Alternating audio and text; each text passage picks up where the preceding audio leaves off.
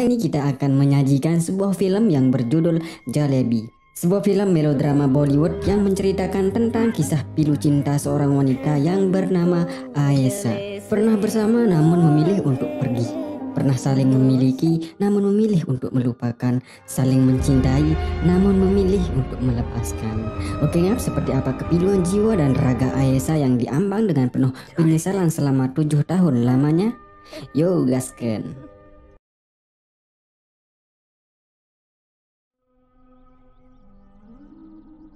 Terlihat Aisyah begitu rapuh, memilukan, putus asa bahkan ia sempat ingin bunuh diri. Penyesalanlah yang membuatnya begini.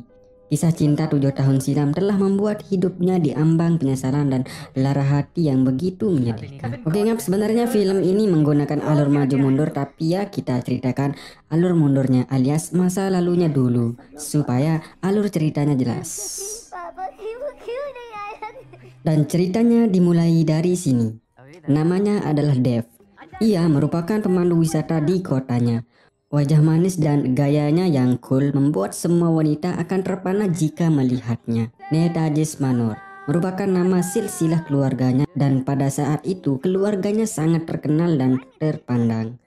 Pada saat itu, Aisyah dan rombongan sedang melakukan study tour ke rumah relik atau bangunan tua milik keluarga Netajis Manor.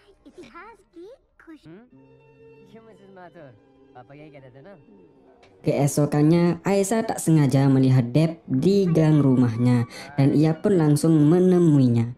Aisyah yang pada saat itu adalah seorang penulis, kemudian mengajak Deb jalan-jalan untuk mencari inspirasi. Dan di sinilah awal kisah cinta mereka dimulai. Aisyah yang begitu cantik harus terjebak oleh rasa nyaman yang diberikan oleh Dev. Dev pun demikian. Pesona raut wajah Aisyah yang begitu aduhai membuatnya terlena dan mereka pun saling jatuh cinta. Tak butuh lama untuk saling kenal. Paginya Aisyah langsung pergi ke rumah Deb dan mengajak Deb untuk menikah. Wow, gila men. Baru kenal langsung diajak nikah loh. Gua yakin nih si ceweknya uh, Cang Ibrat. ya, dengan senang hati Deb pun menerimanya. Oke, singkat cerita mereka pun menikah.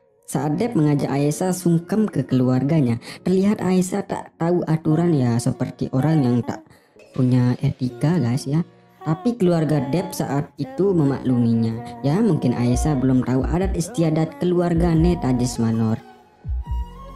Deb yang saat itu sebagai tulang punggung keluarga harus bekerja keras dan bisa mengimbangi istrinya dan orang tuanya karena pada saat itu ia masih tinggal bersama keluarga. Satu pelajaran berharga dari adegan ini guys yaitu sebelum menjalin hubungan ke yang lebih serius alangkah baiknya kita mengenali sifat sikap pasangan kita dan bisa saling menerima apa adanya bukan ada apanya. Oke okay, next Paginya Aisyah terlihat sangat bahagia karena ia diterima bekerja di luar kota dan bisa pindah dari rumah relik tersebut. Tapi Deb yang pada saat itu tak menerima jika ia harus pindah dari rumah relik miliknya.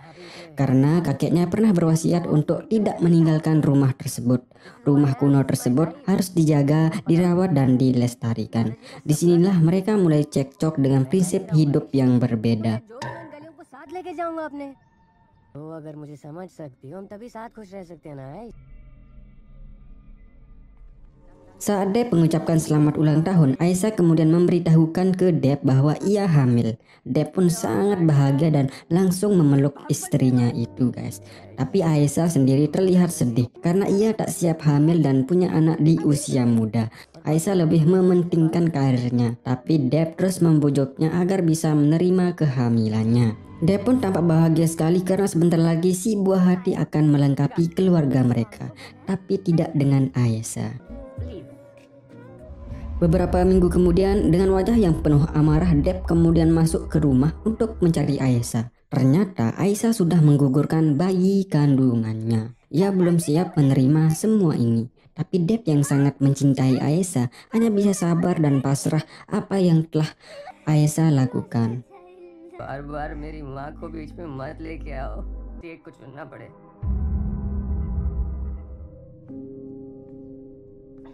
Kini Aisyah bertindak semau-maunya di hadapan Deb dan orang tuanya ya tapi mereka hanya bisa diam dan bersabar. Keesokan paginya, tiba-tiba Aisyah sudah siap-siap untuk pergi meninggalkan Deb. Deb sendiri tak bisa berkata apa-apa. Ia hanya bisa pasrah.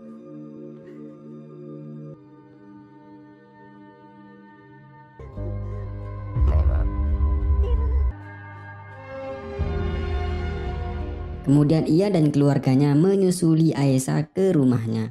Di sana mereka membujuk Aisyah untuk kembali dan bisa bersama kembali. Tapi Aisyah menolak semua itu guys. Menurut gua sih mereka sebenarnya sangat saling mencintai guys ya. Mungkin karena prinsip hidup yang berbeda dan mereka tak bisa saling menerima. Akhirnya ya begini broken. Jadi ada dua pelajaran penting yang gua dapatkan di sini ya. Yang pertama itu nikah itu bukan hanya tentang canggih lalu digenjot. Kemudian jika belum siap jalani aja dulu. Udah itu aja. Oke ngap seperti apa endingnya? Let's go kita lanjut. Tujuh tahun lamanya ia berlarut-larut dalam kesedihan yang mendalam dan penuh penyesalan. Ia kemudian meminta ke ayahnya agar diizinkan ke Delhi.